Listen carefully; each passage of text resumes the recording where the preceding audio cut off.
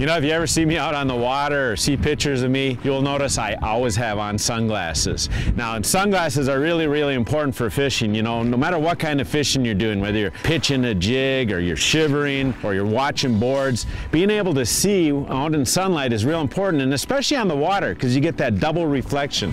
And a lot of people talk about sunglasses, you know, how important it is to like see in the water, maybe seeing bait in the water or actually maybe even seeing fish in the water, being able to see mud lines on the water. That's all really, really important. But for me, one of the most important things is reducing eye strain.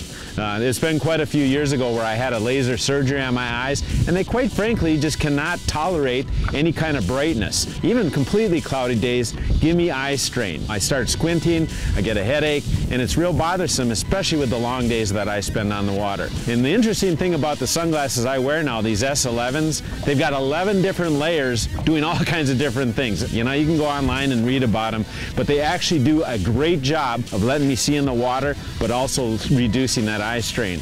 Now, one of the things about me is, is I'm not the uh, easiest on sunglasses. You know, I'll throw them in a pocket in a rain suit and then later on sit on the rain suit and smash my glasses or I'll set them on the dash and blow them out. So I go through a fair number of pairs of sunglasses a year. So what I like to look for is an affordable pair of sunglasses that still give me all that performance, keep me on the water fishing, reduce that eye strain, and just make an enjoyable day out on the water, sunny, cloudy, or whatever.